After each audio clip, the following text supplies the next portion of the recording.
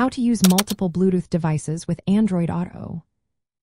Imagine you are on a long drive and you want to connect your smartphone, your tablet, and perhaps even a Bluetooth speaker to your vehicle system.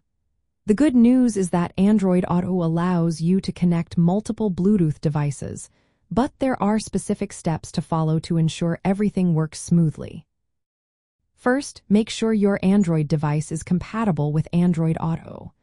Most modern smartphones running Android version 5.0, Lollipop, or later should work. Begin by enabling Bluetooth on your smartphone and your vehicle's infotainment system. This is typically done through the settings menu on both devices.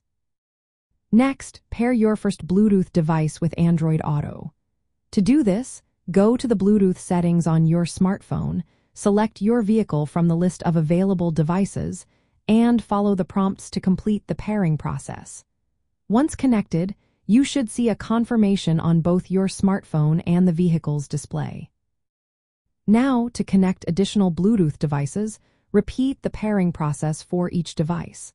However, Keep in mind that Android Auto may only allow a limited number of simultaneous connections, depending on your vehicle system. If you encounter any issues, check the user manual for your vehicle to see how many devices can be connected at once. After all devices are connected, you can switch between them as needed.